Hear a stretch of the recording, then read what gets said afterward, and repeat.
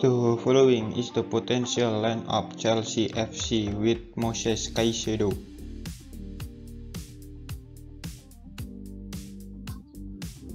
Head coach Mauricio Pochettino from Argentina. Robert Sanchez, goalkeeper from Spain.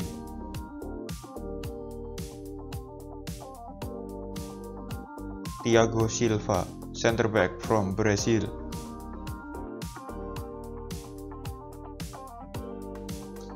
Axel Disasi, center back from France.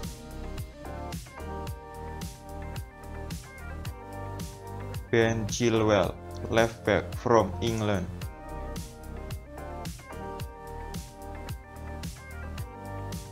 Reece James, right back from England.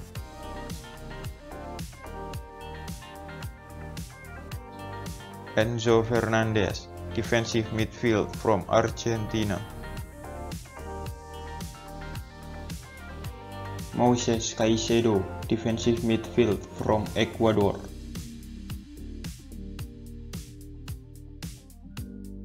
Mykhailo Mudryk, left midfield from Ukraine.